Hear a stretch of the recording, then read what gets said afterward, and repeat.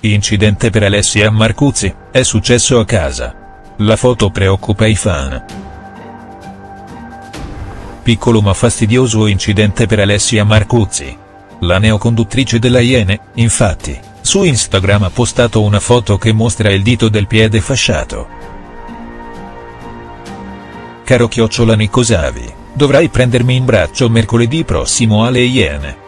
Mignolo fratturato mentre giocavo a nascondino, ha scritto la conduttrice in calce alla fotografia.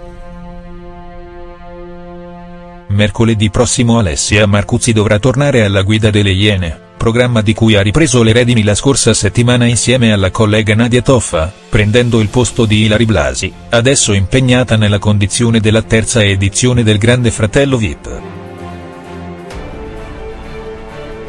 E difficilmente la sua frattura al dito del piede passerà inosservata, com'è difficile che la conduttrice riesca a rimettersi in pochi giorni.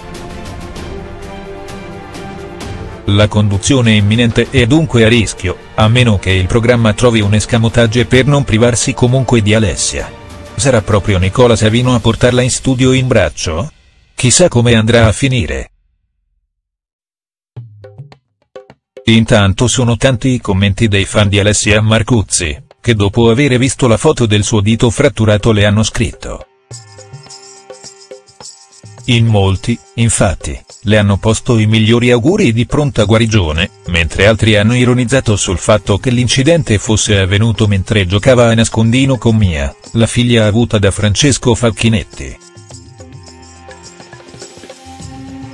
Grande Ale. Solo tu potevi farti male giocando a nascondino, tanti auguri Alessia, vedrai che ti rimetterai presto. Non è niente di grave. Proprio qualche giorno fa, intervistata dalla rivista Chi, la conduttrice delle Ieni aveva raccontato di essere un vero maschiaccio a casa.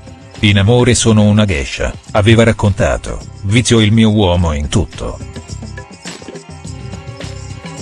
Poi, però, all'improvviso mi raffreddo e la verità è che non sono mai quieta, sento sempre la terra tremare sotto i piedi e ho bisogno di quella scossa sono una gatta selvatica.